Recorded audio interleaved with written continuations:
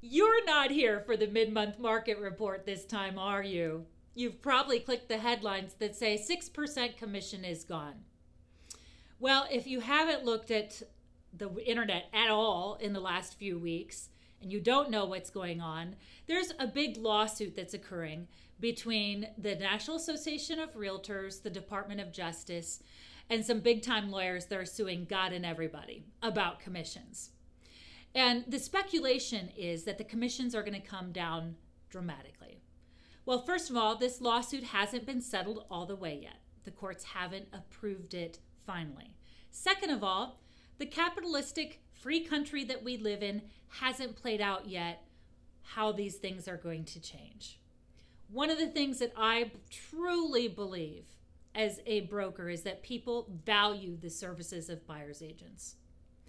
I can tell you as a strong, talented listing agent that I fiercely represent my folks and that buyers have been well served by having buyer's agents on their sides uh, versus going through me directly without having themselves represented at all.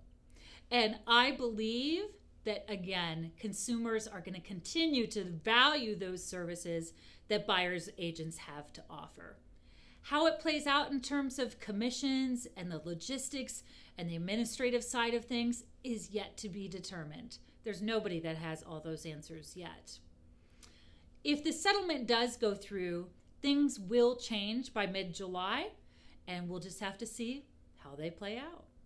In the meantime, if you did come here for the mid month market report, I'm going to tell you how it is. The average sales price is at around 335,000 and our days on market have gone up substantially as compared to years past. We're at 29 now, folks. So your home may not sell instantly anymore, especially if it's not priced right. The number of closings has gone down in comparison to the same time last year by a little over 7%. So there we are, folks. The mid month market report, not near as sexy as the lawsuit.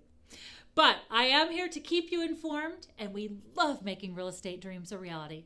So let us know how we can serve you, your family, and friends.